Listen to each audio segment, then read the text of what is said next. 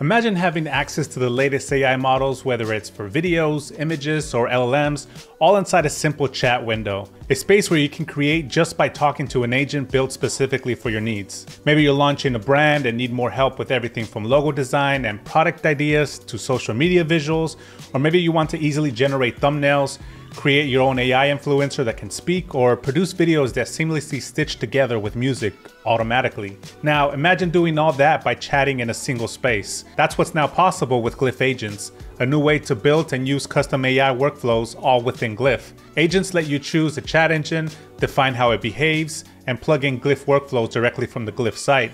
You can start with a pre-built agent or fully customize your own with as much detail as you want. In this video, we'll start with the pre-made agent called Infinite Kling 2.5, built to create seamless long one-take videos that went viral thanks to Fabian, the co-founder of Glif. And after that, I'll also show you how to build a simple agent from scratch so you can see just how easy it is to make your own. Alright, so if you're ready, let's get right into it.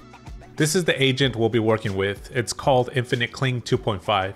You can find it in the description or just click on agents and you should see it listed here. What makes this agent special is that there's so much you can do right inside this chat.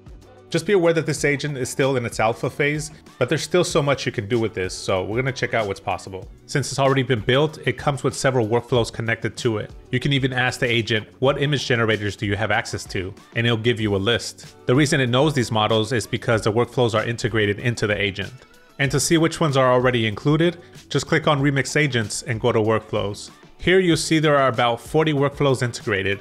These give you the ability to generate images, videos, music, text-to-speech, and much more. A useful trick is comparing results from different image models. And this is possible because this agent has several image models integrated into it. For example, you can ask, generate a 16 by 9 image of a man seen from behind, third person perspective riding a motorcycle through a Japanese city and I can also ask it to show me four different results from different models. You can specify which models you want or it can just choose them for you. As you can see, I have four images generated from four different models. This is great because I can compare and choose the one I like the best. And if you're still not happy with the results, you can always ask the agent to adjust details or completely change it. When you found the image you want to use, click on this quotation icon. This drops a link to the image into the chat so the agent knows exactly which one you've chosen.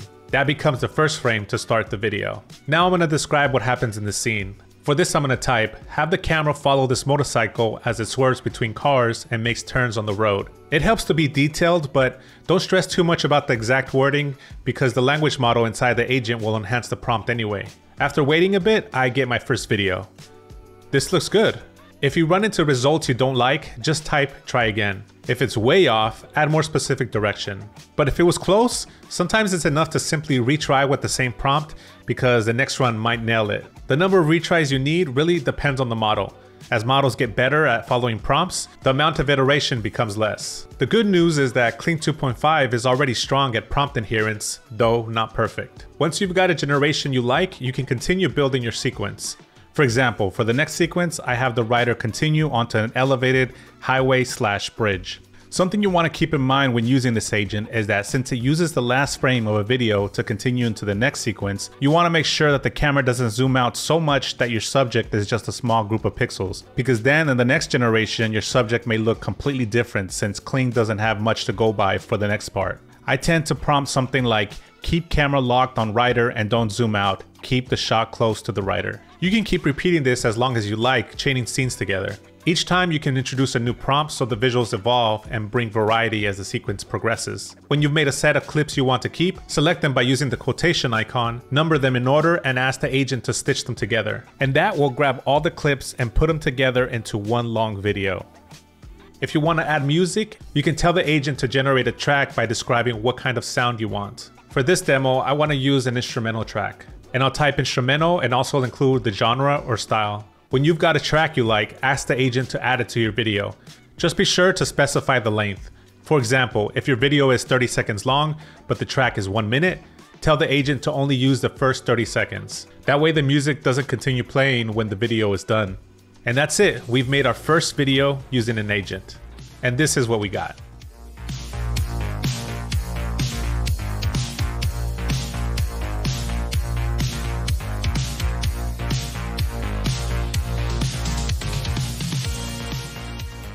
All right, now let's try to build an agent from scratch. We're gonna keep this very simple so that you can get an idea of how this works. I also don't wanna overwhelm you with information. I'm here on the Glif website, and if I wanna build my own agent, I go up to the top left where it says build. Then I click agent. Here we have a few options to choose from, but for today, we're gonna select create from scratch. Once here, you can name your agent, give it a handle so it's easy to find, and upload a profile image. You can either upload an image, paste a link, or generate one right here. Next is the behavior section. This is where you tell the agent what its purpose is. For example, maybe you want to generate logos or memes or whatever you want to do, you describe it here. For this demo, I'll keep it simple. I'm going to make a character creator. It will generate an image of a character, then create concept art of that character in different scenes and poses so I can see what they look like in various circumstances and lighting. Finally, I'll add a video generator so I can animate the chosen images. For the agent name, I'm just gonna put something like character maker. And for the handle, something similar. I'll generate an image to use as the profile pic. Now under chat engine, you have a few choices, including ChatGPT, Claude, and a few others. I'll stick with Claude here. Then in instructions, I'll write this. You are a character creator and concept artist.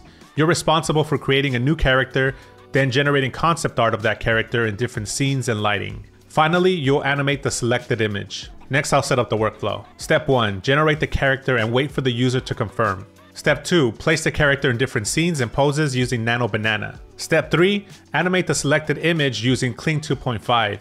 I could have used any other tool here like Wan 2.2, but I'll keep it with Kling for this example.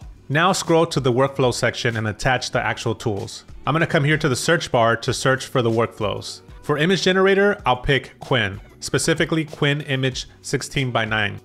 Then I'll add Nano Banana for image editing, and finally Kling 2.5 for image to video animation. You can add as many workflows as you want, it's really up to you. Before saving, you can customize a couple details. For example, you can customize your chat theme. If I type here cyberpunk theme and click generate, the whole chat changes. The colors, font, and vibe match that theme. And you can keep switching it to whatever style you want. You can also add conversation starters that will pop up at the beginning of every chat, like generate a starting image or I have an existing character or whatever you like it to say to get the ball rolling. Once you've done this, you can save and finally use your agent. Let's go ahead and test it out. I'll type create a man wielding a giant sword. The agent will then use the Qwen model to generate the image. And this is what it gave me. I think this is good. Now I'll ask, Put him in different location and poses, generate four images. Because I already set Nano Banana as part of the behavior, the agent automatically uses it for variations. It gives me four different looks of the same character. I'm gonna select one that I like and type, animate this character lifting the sword with electricity surging through it. Then press enter. The agent then uses Kling 2.5 and animates the character. And there it is. I generated my first video with an agent I customized myself. Remember, you can always go back and edit your agent, change behavior, update instructions, or refine the workflow, so it works exactly how you want. And that's our first look at Glif agents. Whether you're customizing your own or using something ready to go, agents let you shape AI to fit your workflow. It's a flexible, creative way to speed things up, test your ideas, and stay in your creative flow. Try it out and see what you can come up with. Thank you for watching. Subscribe for more, and until next time, take care.